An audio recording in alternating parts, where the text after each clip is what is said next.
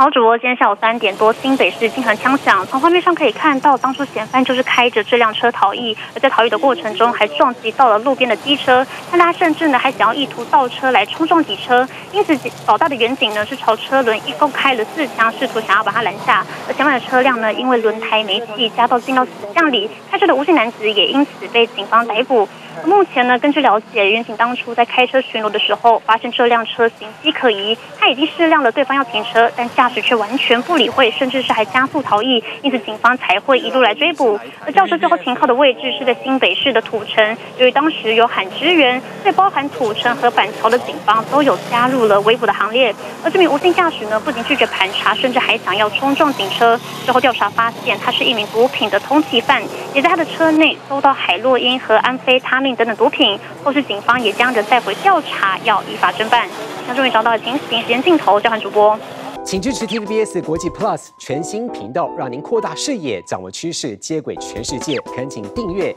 开启小铃铛。